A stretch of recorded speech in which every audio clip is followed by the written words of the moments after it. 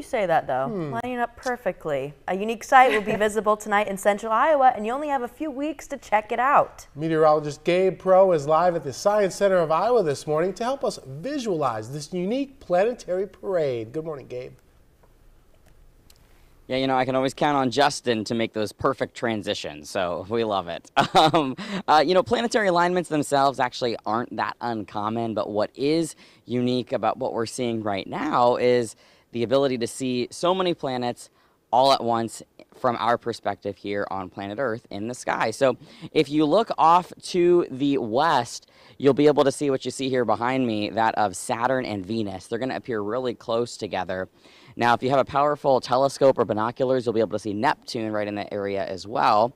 And then as you look uh, farther to the south and then generally up, so almost not quite directly overhead, but pretty far overhead, Jupiter will be visible. And then farther to the east, the planet Mars. Again, that'll also be a little lower on the horizon. The best time to view these will be about uh, 30 minutes to an hour after sunset. And of course, uh, the planets aren't going to be this visible. It will be, they're going to look like stars, but pretty bright. In fact, bright enough that you may be able to see them from the city. And whether you're able to actually get outside and view this alignment, this planetary parade yourself, or if you're going to come to a planetarium like the Science Center of Iowa, uh, sites like these usually spark some sort of reaction.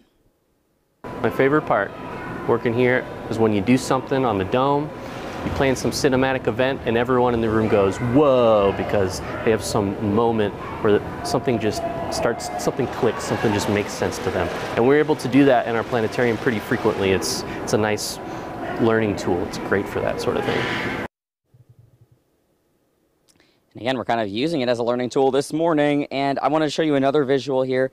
Once again, Saturn and Venus, you'll just need to look off to the west. They're going to appear pretty close to one another. Jupiter higher up, and then you're going to be needing to look for a little farther to the south. And then Mars will be off to the east.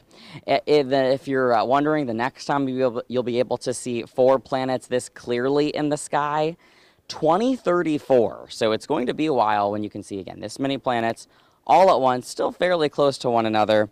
Uh, and you'll be able to see this sight uh, until about the middle of February. But the next several days, especially Saturday, uh, the planets will be fairly close to one another uh, compared to uh, later on into February.